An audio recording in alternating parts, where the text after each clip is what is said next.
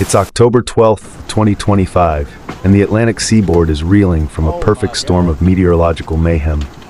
In Edgewater, Florida, what began as a routine king tide has morphed into a watery apocalypse, with neighborhoods transformed been- into impromptu car right lagoons overnight. Relentless rains, supermoon amplified surges, and a stalled low pressure system have flooded homes, stranded vehicles, and sparked daring rescues. Our thoughts are with the families knee deep in salt water and memories. Before we dive deeper, smash that subscribe button and ring the bell. Stay ahead of the swells.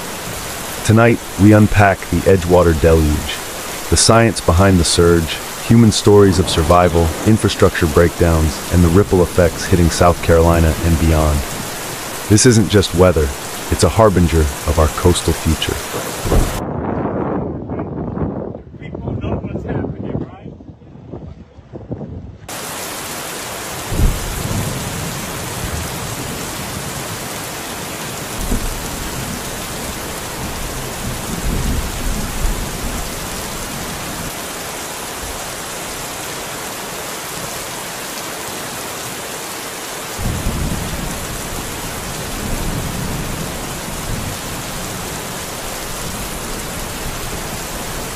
Nestled along Florida's Space Coast in Volusia County, Edgewater, a quaint town of 23,000 known for its serene canals and retiree havens, woke up on October 10th to a nightmare straight out of a disaster flick.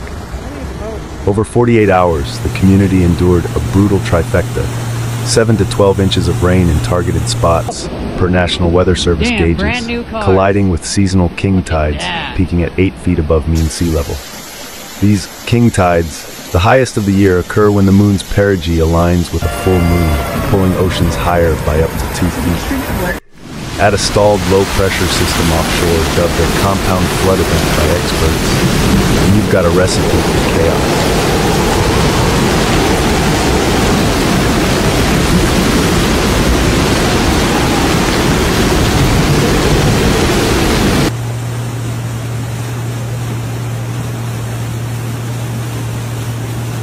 I wouldn't even. Yo, look at that car, it's floating, bro.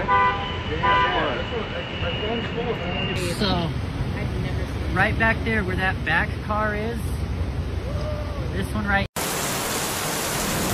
The flooding wasn't a lone wolf, it was a pack attack.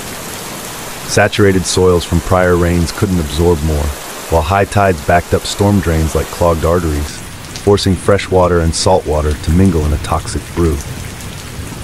Meteorologist Robert Haley from the NWS Melbourne office broke it down in a post-event briefing. This was geography's cruel joke. Low-lying Florida shores and Cheetah Drive, just inches above sea level, became ground zero. The king tide slashed drainage by 50%, right as the heaviest downpours hit. We've seen 30 homes with water intrusion, and that's conservative. By Friday evening, October 10th, emergency lines lit up with over 200 calls. from back there because there's a bunch of water came from. Oh my god!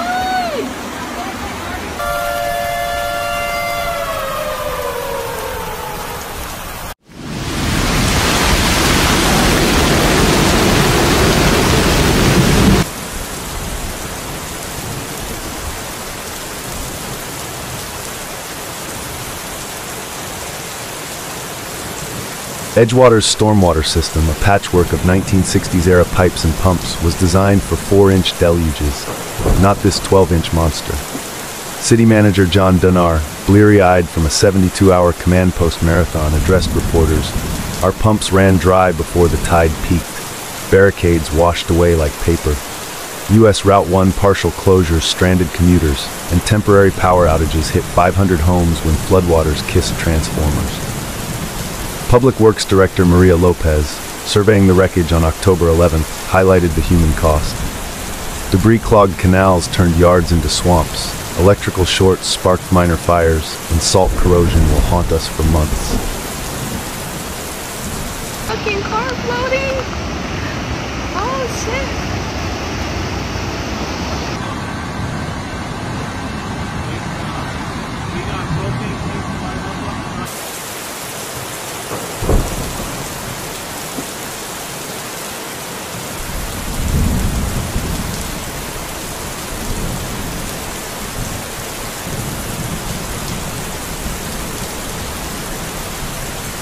The flood fury doesn't stop at the Florida-Georgia line.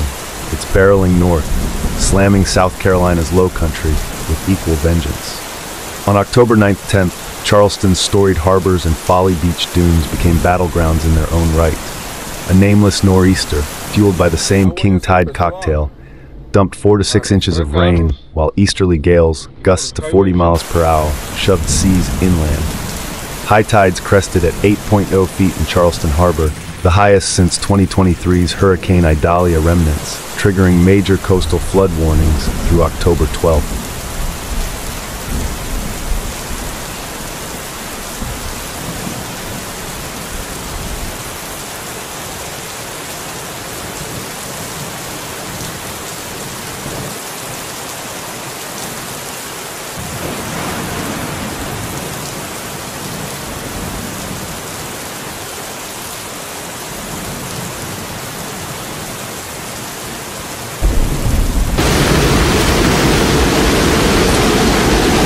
Thank you for watching.